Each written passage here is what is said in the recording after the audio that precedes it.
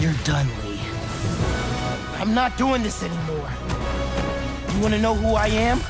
I'm the kid whose dad you killed at City Hall. What? He died because you decided your problems were more important than all of those people's lives.